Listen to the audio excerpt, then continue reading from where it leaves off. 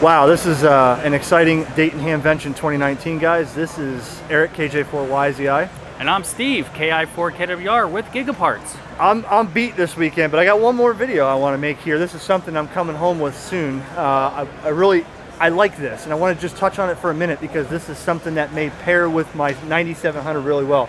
Uh, to be in a nutshell, Steve, tell me about this HF clock right here. This is more than a clock. This is more than a clock. What this actually does is it has many, many purposes.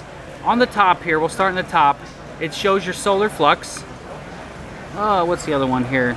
Your x-ray and any uh, sunspots, but you can change it. If you just press the screen, they will change. Now, hold on a second. This is Wi-Fi enabled. Wi-Fi enabled. So this runs on the internet. Yes. It's got a built on a Pi. Raspberry Pi, yes. Okay. So this constantly changes based on your area where you set it up. Yes. Okay. So, would you say with the changing part, I'm gonna click on right down here in the bottom of South America. It's gonna show me location to point your beam, Wow. the current temperature in that location, so it's 46 degrees, light rain with 30, 30 mile per hour winds, so they're probably having a thunderstorm. So you don't need to ask anymore how's the weather at your QTH. No. It's right there. You're It- already assuming you got it. Yes. Okay. so when you're when you're setting it up, it's you're putting your location information here, which still has us back in Alabama, but not a big deal. Your time, current UTC time. Of course, still showing the temperature in South America. It's going to go back to solar flux here. But you can change that. If you don't want to see it as a graph, you can also pull up your sunspot uh, number. See if the see if the the sun will change colors again. So so what I'm seeing is this is kind of like instead of going online to a solar index chart or something, it's here. It is here. It's right here. On, I mean, this is this is really what caught my attention, and really the reason I want it. Tell me about what I'm seeing right here, and that's a satellite that's going to pass over. Currently, it is showing the ISS satellite.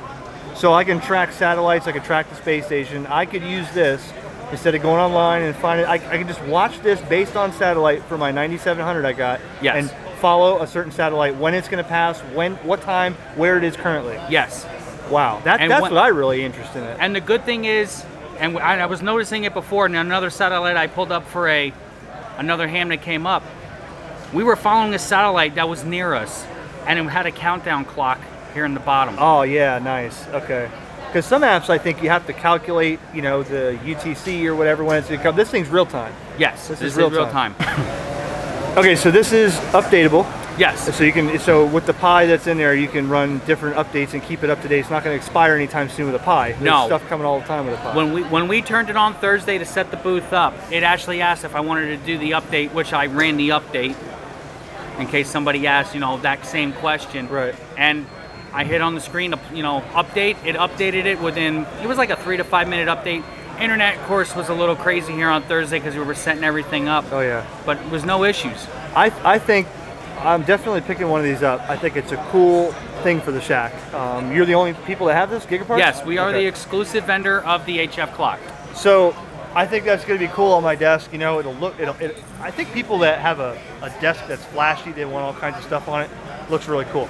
I really it hit home for me when I saw the satellite tracking and ISS tracking because if you have a 9700, you got to do satellites, and that's what I want to do. So when I saw that and all the different satellites you could pick, I thought, yeah, definitely something that'll be neat. Tap on it, there's a satellite, and uh, away I go. So. Uh, more on this when I get one in my hands. I think they're all sold out now, but uh, I'll have one uh, ordered and shipped. So, Steve, thank you for your little bit of time here. You're welcome. This has been a busy, uh, busy thing for Gigaparts and everybody here. Yes, we have been very busy, and we're only on day two. We still have another close to 24 hours to go, everybody. I'm going soon because I gotta fly home tomorrow. But thank you very much for uh, the time here, and uh, more on the HF clock when I get one in the shack. 7-3 from Dayton Hamvention KJ4YZI. And 7-3 guys from Steve, KI4KWR at Gigaparts.